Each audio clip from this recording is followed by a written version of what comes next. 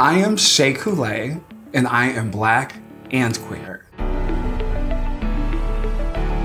The best part of being black and queer is my perspective.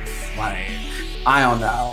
I feel magical, so I feel like all my other black femme queers like feel it too, and they're like, mm-hmm. I just have walked a certain path that has given me the ability to look at the world in a really unique and specific way. And I don't know, I feel like it just gives me a finesse that other people just don't have. And I truly feel sorry for them.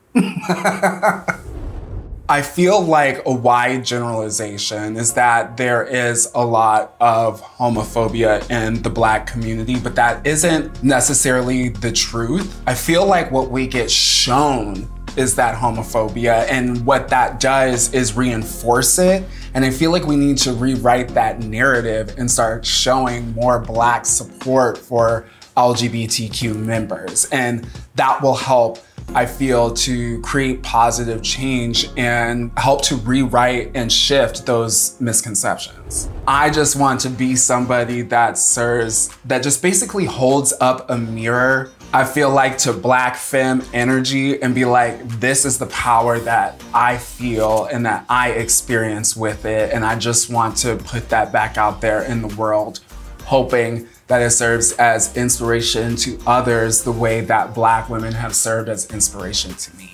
I just look at black women and I see God. There's such a power and I feel like because black women are so powerful, the patriarchy does everything that they can to try and stomp that power out. Growing up, those were the examples. I was just surrounded by so many dope, beautiful, glamorous, powerful, smart, educated black women. Like, how the hell would I not turn out as fierce as I did? Like, it's who I am, it's part of me. I feel like my confidence comes from a place of remembering and reflecting on our ancestors, our queer ancestors, and what they had to go through to get us where we are. And to also quote my mom, who quotes the Bible, that says that we are fearfully and wonderfully made.